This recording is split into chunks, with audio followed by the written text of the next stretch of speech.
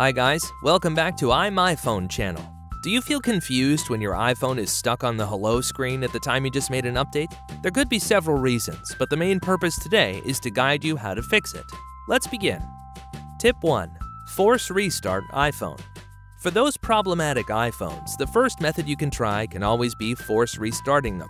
Follow to see how to do that. Press and release quickly both volume up and volume down buttons. Then move on to the side button. You can release it the moment you see the Apple logo, and your iPhone will restart without seeing the hello screen. Tip 2. Remove hello screen with iMyFone Fixppo. Like other iPhone problems, this hello screen issue can be solved easily with the tool recommended here, which is iMyFone Fixppo. As the all-in-one iOS system repair tool, Fixppo can fix your iPhone troubles as always with its standard mode and no data will be erased during this process. You can first download it and see how to use it. Now, open Fixppo and choose Standard Mode that will cause no data loss.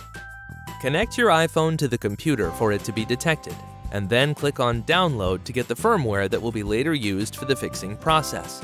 The whole downloading will take you up to 15 minutes or so. You may wait for it to complete and begin the last step.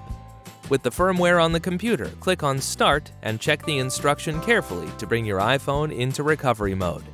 And Fixppo will instantly start to fix your iPhone and finish it in 5 minutes.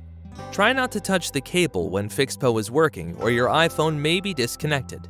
Then it's done. Fixppo has finished its job and restarts your iPhone. See? Your iPhone now is back to life and the black screen is gone with all functions working normally. Tip 3. Restore iPhone to factory settings. Before that, connect your iPhone to the computer and follow to let your iPhone show the Connect to iTunes logo. Press and release the Volume Up button, then do the same to the Volume Down button.